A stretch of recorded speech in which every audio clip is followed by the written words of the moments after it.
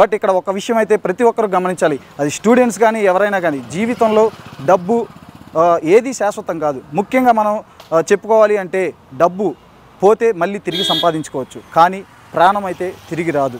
ఎందుకు అంటే ఎన్నో ఆశలు పెట్టుకొని తల్లిదండ్రులు మనల్ని చదివిస్తూ ఉంటారు పెంచి పెద్ద చేస్తారు.